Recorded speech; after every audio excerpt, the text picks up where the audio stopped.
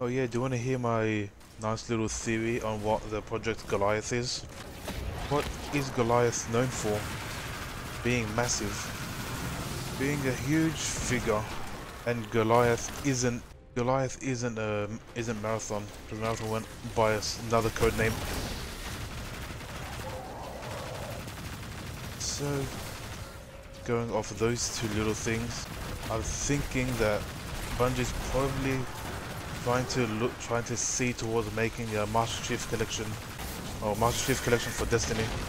Wouldn't that fit the codename of Goliath? Getting all the content from both Destiny 1 and 2, basically putting it in the same game. That's just me being hopeful, because who knows what it would what it would actually be. But also another th another theory that I had as well. Now in the final shape, the power of the witness witnesses after is technically re rewriting reality. What if we get the final shape in the... What if we get the power of the final shape in the final shape? And Bungie's like, you know what? Here you go, Forge mode. We finally get the power to rewrite, rewrite reality as we want. I'm pretty sure good old Bungo really likes adding stuff and tying it to the story as well. I don't know about you, but that would be the perfect time to introduce something like Forges. It would be the perfect in the in universe uh, lore as well. We chase the final shape, we chase the witness, they get the final shape, we beat them, we end up getting the power of the final shape as well. What is what do we do with it? We go ahead and make whatever the hell we want. I can also feed into the new matchmaking memes. And hell, I'm pretty sure damn near everything will be forgiven with Bungie if they actually do pull that off. exactly. That's a hell of a lot of copying, but you know what? Until I'm proven I'm wrong, it's still an idea. But yeah, to me it does make sense.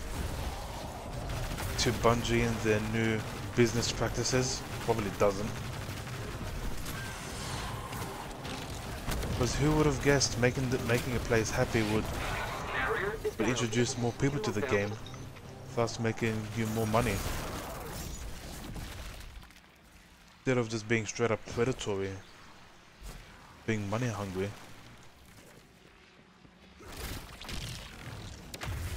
But what do I know?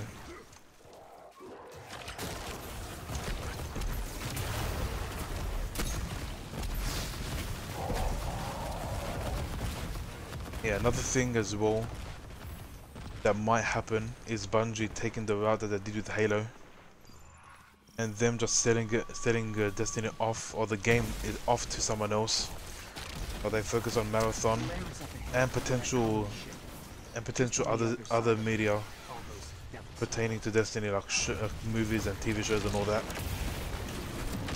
Okay, we're giving the game to you. We will do the other Destiny things. What's the possibility of Bungie opening? Um, ads starting soon. Now what's the possibility that Bungie's gonna go the route and add in, open another studio beneath them that's solely in charge for solely in charge of Destiny? I wonder. Are they even big enough a studio to pull that off? Man, I really don't want to be. I really don't want that to happen either. But on the other hand, how much worse could it be? I don't answer that question. Because the answer is obviously much worse. Could get worse than trial. We could get worse than the Curse of Osiris with even lower player population. Could just go straight up the route of Anthem. That's basically the worst that it can go. Oh, I can't look into the future, so we'll just have to wait and see.